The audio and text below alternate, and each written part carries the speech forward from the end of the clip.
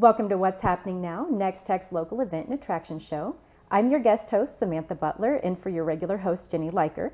We have a full lineup of guests for you today, starting with Sharon Black and El Dean Holthus from Smith Center. Now, Eldine, you're the son of the voice of the Kansas City Chiefs, if I'm not mistaken.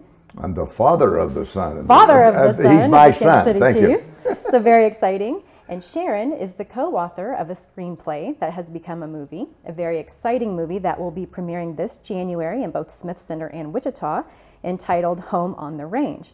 Now, I know for sure any born and bred Kansan certainly recognizes that title. That's our Kansas State song, correct?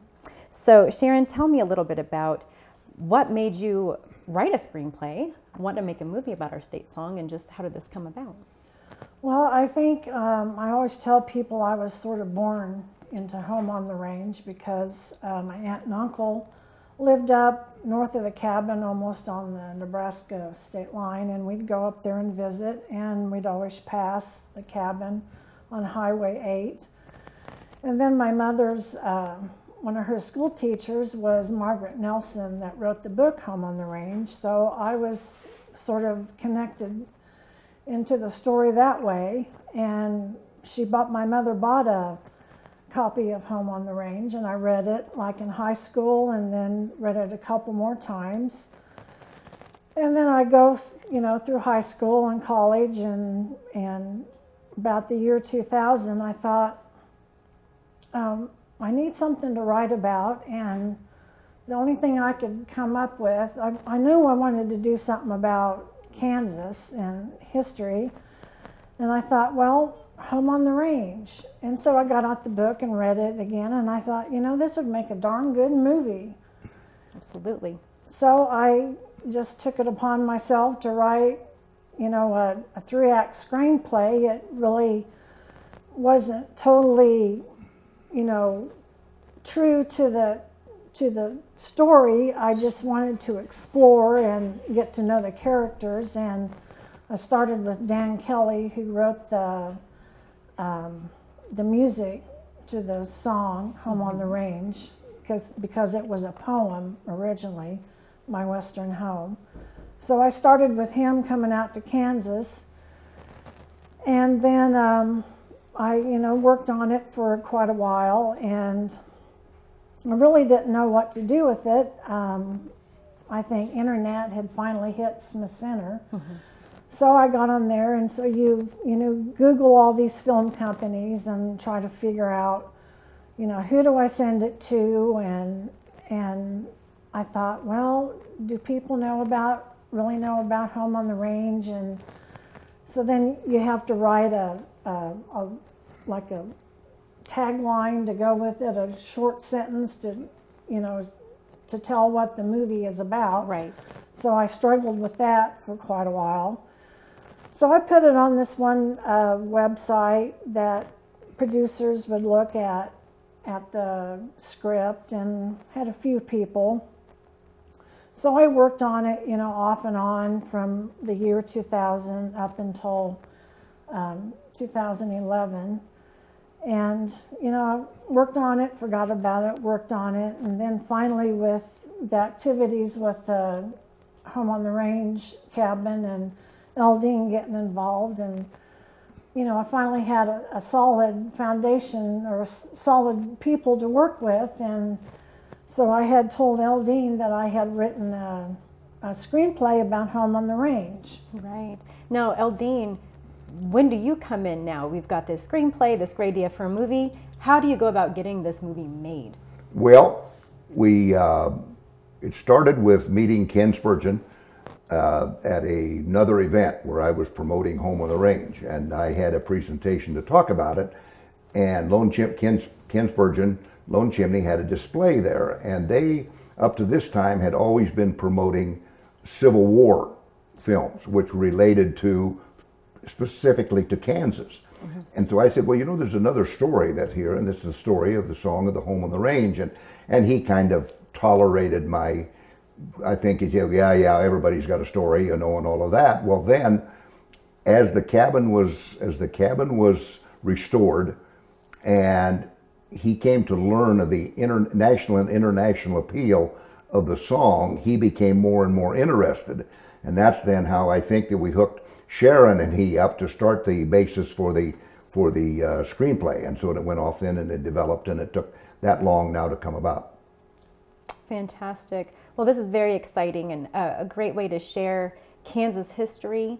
Um, with uh, you know, a lot of people have heard of this song, but a lot of people don't know there's a there's a deep meaning to it, um, especially to Smith County and um, the people in Smith Center. So that's very exciting. Um, where can they see this movie?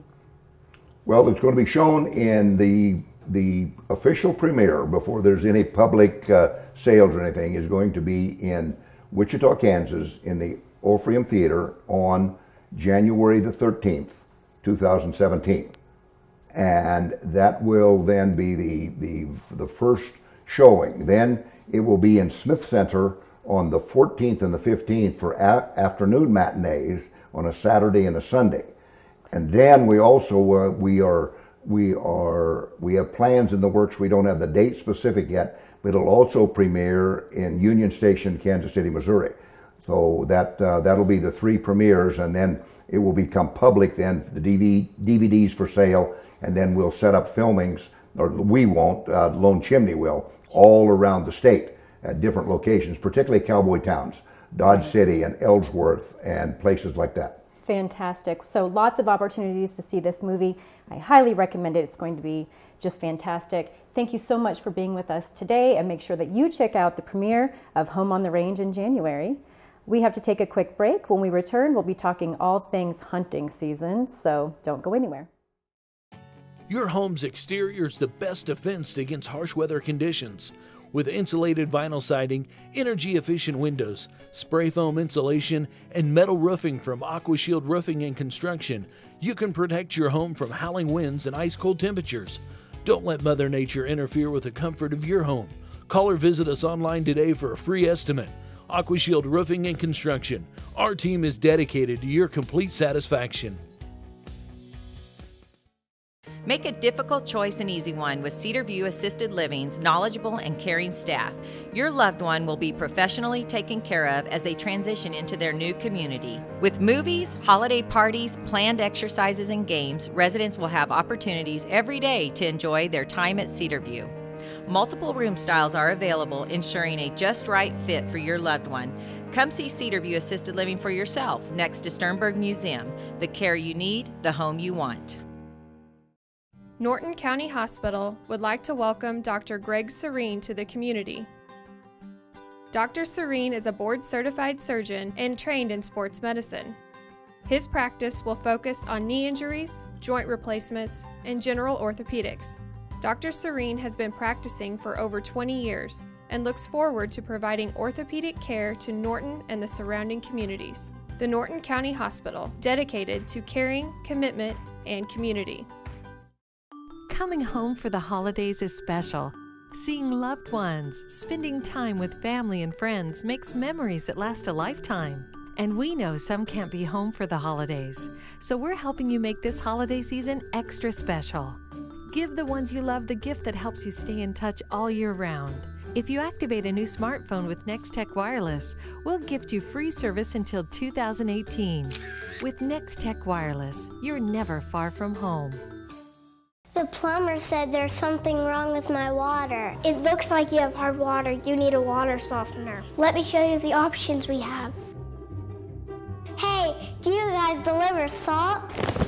We sure do. What about drinking water? We have water coolers and drinking water systems. We even have bottled water. Find us on Facebook and itsbetterwater.com. And remember, it's not just water. What a girl wants in her home kitchen ease of use, flexibility, fun, the latest kitchen design, Frigidaire professional real stainless steel for fewer finger smudges, a French door refrigerator, convection cooking, a quiet dishwasher. Have the staff at Genuine Appliance in Hays demonstrate new Frigidaire professional appliances to find what you want. Genuine Appliance at 1224 East 27th in Hays. Everything a girl wants. Welcome back. Joining me now, I have Matt Smith, Regional Wildlife Supervisor with the Kansas Wildlife Parks and Tourism Regional Branch here in Hays. And as I said before the break, we're going to be talking about hunting season. It is upon us, it's well underway. Uh, Matt, first of all, welcome to the show. And how is hunting season going thus far? Well, thanks for having me. Uh, so far, it's been going pretty good. The upland bird season just opened uh, this past weekend.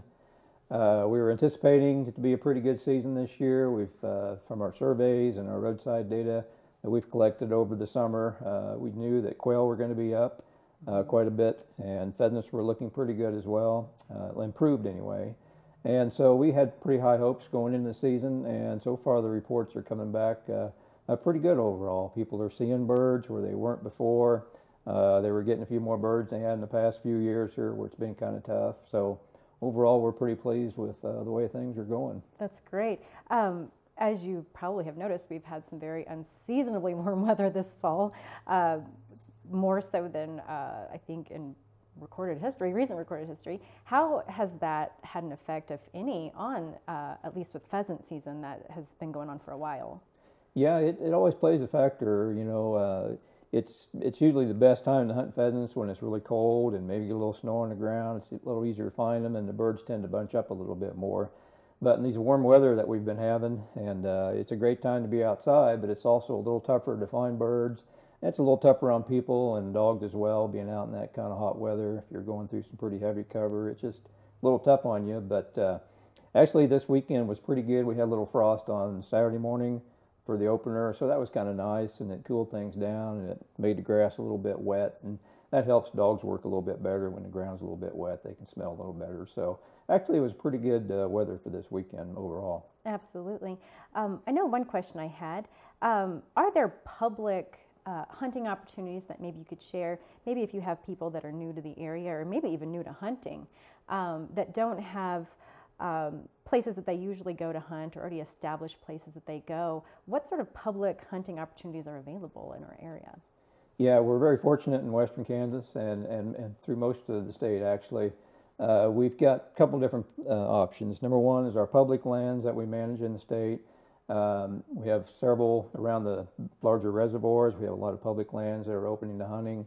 Uh, unfortunately, public lands in Kansas are only about less than 2% is in public ownership. Right. But we do have a great program. It's called the Walk In Hunting Areas Program, where we lease private land and we open it up to public hunting. And it could be for upland game birds, it could be for deer, it could be uh, turkey opportunity, waterfowl, even on some of that public land. We have over a million acres enrolled into that program that's open to public hunting. And it's been a tremendous success. Uh, landowners uh, tend to very much like it. Uh, hunters like it. Uh, certainly, uh, especially out-of-state hunters really like the program. All the areas are printed in an atlas. They can get online. They can put it on their phone. They can get a paper copy, and they can go right to those properties, and it's posted, and it'll list what species you know could be potentially found in those areas. And it's been a really popular thing. Uh, it just opens up a lot of access for people, and uh, it's all private land. So the success of the program and the future of the program really depends on how hunters respect those landowners' properties. And we always ask, you know, that time of year, you know, you know, treat the property like it was yours. If you're on somebody else's property, you know, don't litter, you know, don't open gates, things like that. They cannot drive on those properties. It's walk-in only. But uh, it's a tremendous opportunity for folks, and uh, a lot of our hunting that we observed over the weekend and every opening weekend, you know, the majority of that is on the walk-in hunting program properties. Absolutely. If people wanted more information about um, those opportunities, where can they go? They can go to our website, ksoutdoors.com. It has all the information on hunting, fishing, state parks, just everything that the department does. And like I said, the maps of the atlases are on the website, and you can download pages. You could put it on your phone. Uh, you can just get all the information from ksoutdoors.com. Absolutely. And I know one last thing. Um, you know, when talking about hunting, safety is always an issue. Um, what sort of uh, precautions um, would you give area hunters to make sure that everyone stays as safe as possible this hunting season? Well, it is a big thing, and uh, for bird hunters, upland bird hunters, uh, it's not required that you wear hunter orange, but it's uh, definitely a good idea, especially if you're with a group, hunt with someone else, to wear an orange hat and vest, you know, so you're seen by the other members of the group. For deer hunting, it is required for rifle deer hunting. You have to have an orange hat. You have to have at least 200 inches of orange on you. That's 100 inches on the front, 100 inches on the back. That is a requirement, so you're seen by everyone. Uh, deer hunting season is uh, coming up here very soon. Starts November 30th for rifle season and runs through December 11th. And deer this time of year, you know, they're going through their mating rituals. Uh, the bucks are out looking for does, and it's a time that you could you could characterize it as those bucks kind of losing their common sense, and that's why they're a little more susceptible to hunting that time of year. But unfortunately, a lot of our hunters sometimes lose a little common sense too this time of year with little buck fever and things like that.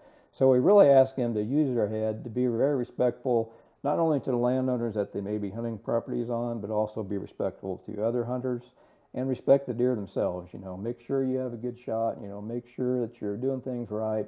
Make sure you know your limitations of your own equipment and your own abilities that you have, and just do all those things. They're just common sense. you Common know. sense, Right. absolutely. Well, Matt, thank you so much for being here. And area hunters, make sure you stay safe um, this hunting season and happy hunting. We need to take a quick break, but we will be right back, so don't go anywhere. Your house is more than just a house. It's a home for your family to grow. It's a place where you feel the most comfortable and can be yourself. Shop at Paul's Furniture Company in Selden so your family can select the perfect pieces for all the rooms in your house. With over 17,000 square feet of selection, they are sure to have the styles that will please everyone, even the kids. Visit Paul's Furniture Company in Selden where they'll help you feel at home. Visit us online at paulsfurnitureco.com. All Faiths Funeral Chapel and Smith Center can help you and your loved ones prepare for a difficult time with prearranged funeral planning. Not only will it be a stress reliever during a tough time, it will save your family money by locking in a guaranteed rate so funeral costs will be less of a burden. Prearranged funeral plans now have options to make paying for a funeral easier, such as a 3, 5, and 7 year payment option. Call 785 686 4120 or visit allfaithsfuneralchapel.com. Here in the Heartland, we make things homemade with precision and care. Robin Insurance is no different. Their family creates tailored plans to keep your family safe. They are a family owned and operated agency that also offers commercial, farm, and crop insurance. With quick, fair claims, your matter will be held professionally and with excellent customer service. Robin Insurance, the corner post of insurance since 1936. See their ad in the Nex-Tech directory. The Rusty Tractor in Kensington offers big city dining with a small town feel. The Rusty Tractor features hand cut steaks, burgers, wraps, and more, all with generous portions and quality products. The Rusty Tractor is proud to serve the area farming communities and welcomes everyone. Come as you are in your boots and jeans. You'll be right at home. Open daily and conveniently located on Highway 36. For more information, find them on Facebook or for a full menu, visit rustytractorkensington.com. The easiest way for you to get anywhere in the country is the Hays Regional Airport. Twice daily flights between Hays and Denver means you are only 45 minutes from over 100 direct flights to get you to your destination as quick as possible. Service from SkyWest has completely changed the flight experience out of Hays thanks to their 50 passenger jets that include complimentary beverages and an in flight restroom. With free parking and short security lines, there has never been a better time to use the Hays Regional Airport. The next time you travel, check Hays first at flyhays.com to see the time and money you could save. Make moving and storing your home or business easy with storage solutions of Hays and Victoria. With two facilities, they can store anything from antiques to automobiles and everything in between. Interior units for items needing special care, drive up units of all sizes, perfect for home or business, and outside storage for trucks, boats, and RVs. As an authorized U Haul dealer, they have everything for your next move, across town or across the country. Storage solutions of Hays and Victoria, making moving and storing easy. Welcome back. Joining me now, I have Roger Bixenman, Superintendent for the Hays Recreation Commission. Roger, welcome to the show. Thanks for having me. Um, and Roger's just going to talk to us a little bit today about what's coming up in the um, world of local athletics. Um, the first thing I think I'd like to ask you about is a new fitness center coming to the Hays Rec in 2017. It's exciting stuff. Um, tell us about that. How'd that come about? And Well, it is exciting stuff, and it's been a long process. We started our board, uh, the HRC board, and I and staff started talking about it probably, gosh, probably now four years ago, and started planning for it, and So the process took shape uh, last year in 2016, and um, they started construction around March, April. Can't lose track of time a little bit, Sure. but um, so the building's up. Um, most of the outside work is done. They've got a few things left to do uh, to tidy up the outside, but all the inside stuff, the sheet rocking and the masonry walls are all going up, and um, so things are progressing nicely.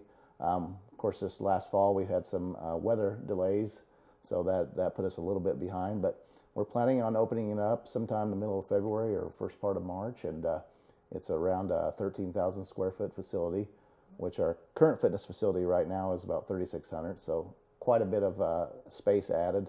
Um, it'll be broken down into cardio and weights, and we'll have a couple of aerobics rooms, uh, one a yo- yoga room, and of course bigger locker rooms and, and reception area and a couple offices. So um, it all came about uh, basically talking about what we need to do next, and uh, this will help us in our wellness area, grow it, uh, as well as our current wellness center, fitness center. We'll utilize that or repurpose that for our leisure programming and move a couple staff back there and have them do leisure programming out of that. And then our gym three currently houses our aerobics classes now, so we'll be able to move that out and utilize that more in the evenings and weekends for practices and games. That's great. And would the new fitness center be located at the same Canterbury location Mhm. as the current center? Correct. It's just right to the north as you enter, uh, kind of splits the driveway, and it'll be right to the north and uh, faces uh, south and north. So it's it's exciting times. That is exciting. That's that's going to be great. Um, another thing I've been seeing with Hays Recreation and kind of curious about is futsal. Uh-huh. Uh, apparently, uh, indoor soccer league. Mhm. Uh, I have to admit, when I saw the name, I thought it was a typo. What is futsal? Futsal is just like you said, it's indoor soccer. I really don't know where the uh, name came from, but uh, it's played. Uh, our youth play four v four, and uh, they use utilize a goalie as well. Um, but we started this program, gosh, probably 10, 12 years ago, and uh, it's seen its trends. It's kind of it was pretty uh, participation wise pretty big when we first started. It's kind of dropped off a little bit, but they play on Sunday afternoons down at 13th Street just because they have the walls there to accommodate that. And then we also have an indoor soccer league for adults, and usually we get somewhere around eight to 12 teams for that, and they play Wow. Sundays after the the youth are done. Usually, usually start in January, and uh, they usually in the afternoons, and then adults follow that up in the evenings. So, so futsal, I guess, is like football and soccer, I guess combined. I guess I don't, I really don't know. That's So, great. So great opportunities to stay in shape and something to do during the winter. Mhm. It's going to be cold outside. That's awesome. Uh, speaking of soccer, um, any uh, tournaments coming up in the spring? I know um, with the Bickle Schmidt Sports Complex, um, we have been getting more and more tournaments and um, athletic events here because of that. What's coming down the pike? Sure. I'm glad you mentioned that. AJ Preisner, our complex director, has worked on the 2017 tournament schedule. Um, last year in 2016, we had a good year. Um, we had about a, right around 12,000 participants that played some sport, either soccer, softball, adult, uh, men's or women's or co-ed, um, flag football. So we had right around 11,000, 12,000 participants. Um, for tournaments in 2017, we have usually around four or five, six um, adult softball tournaments. Um, youth tournaments, we usually have two baseball tournaments. Uh, one of those is usually the third weekend in June. Um, we also host uh, our state tournaments, uh, 14 under Hap Dumont State Tournament. And then last year was our first year for the 14 under girls ASA State Softball Tournament. Um, they were both the same weekend, usually the second weekend in July. We're hoping to get a younger age group in our baseball, uh, nine and unders, um, but that's uh, state still trying to decide where to place that one at. So we're, we're hopeful that we'll get that one as well. That's So, fantastic. Well, that all sounds great. And make sure you check out the Hays Recreation Commission's website. Um, always lots of fun uh, events for kids, adults, a way to stay active and um, have some stuff to do this winter and into the spring. So thank you so much for being here. Thanks for having me. And as always, there's always fun events going on in your communities. And so if you would like to be featured on what's happening now, contact us at least two months in advance and tell us about your event. Until next time, uh, tune into what's happening now on uh, Nex-Tech Local 1 or on our YouTube channel. Thanks for watching.